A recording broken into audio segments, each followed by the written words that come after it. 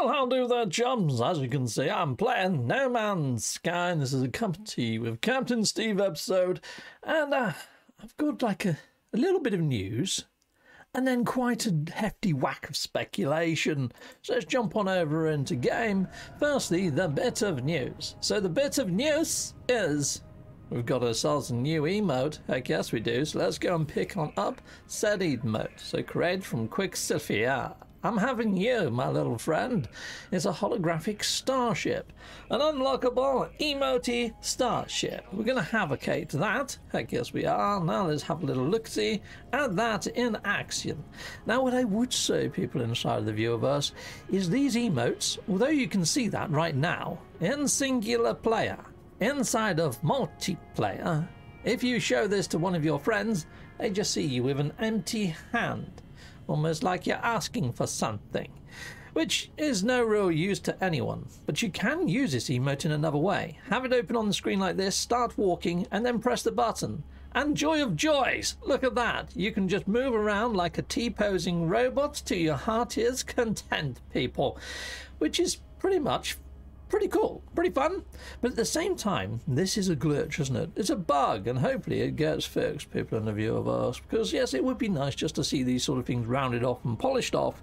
Now, what am I thinking when it comes to speculation, people inside of the viewerverse? So, let me make myself a little bit larger on screen, and let me bring on up the No Man's Sky Assistant app. So here you go, here's my lovely, lovely phone. Yes, brilliant, coolio.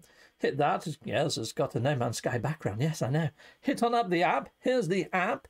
And inside of the app, if I go to Community Mission, just that, Community Mission, hit that, you can see here we've got all these lovely, lovely emotes. But then if you hit this button here, next page, it comes up with all of these jetpack trails. Now I know they're jetpack trails because if I click on these question marks, it shows it's a jetpack trail. But again, it's got question marks there and it doesn't tell you any sort of write up about the jetpack trail. Now, the No Man's Sky Assistant app cleverly, through magic and wizardry, pulls information from the game files with inside of No Man's Sky. Right now, there are no icons for any of the jetpack trails, and there's no blurb, no write up about what the jetpack trails do or what they are or anything like that. So, I honestly think that in between the uh, next couple of emotes popping, because we've got two mo- we've got two more to pop. I think by the time we get to maybe the last one, we're probably going to see some sort of a mini update drop into No Man's Sky and that should hopefully put in the actual icons and blurb and textage for those lovely jetpack trails. Now, those lovely jetpack trails are super lovely. If you haven't seen them, I've done a video on them, but the structure has managed to unlock them early and has got a real nice showcase video of all of those in action. I'll put a link up there, people, to the structures video. Go hit that one up. Or on the end card of this video, I'll put a link to my own video that showcases them and does like a, a quicker overview than the structures showcase. But his is far better than mine, so go watch that video. Heck yes. Anyway, people, so I'm wondering whether the update that brings in the icons for them and the blurb for them maybe might come alongside with perhaps another potential expedition and the ARG Arc Part 3 is what I'm thinking, people. I mean, I don't want to oversell this, I don't want to overbake it. I mean, we all know that over on the Twitterverse right now, it has gone as silent as silent can be. You know, it's it's freaking craziness how quiet it is over on Twitter. I mean, it's, it's the seventh year anniversary of this game. And Sean of the Murrays, maybe he's gone on some sort of vacation because there's not much happening over there, people. It's very, very tumbleweedy. Heck yes, it is. So, yes, there's not much Twitter news. There's not much happening on Murray Watch. Heck no, there's not, people. So, yeah. Although I'm speculating that something might happen before the end of these emotes popping. Yeah, I'm thinking perhaps around, hmm, let's have a look at the calendar. I'm thinking around August 22nd, people. I, uh, that's that's kind of where I'm putting my finger, saying, yeah, around August 22nd is where I think we might start seeing something happen. Maybe even before that. August 22nd is by the latest, people, okay? Because I think by August 22nd, all of the emotes should be unlocked by that point. We've only got two more to go.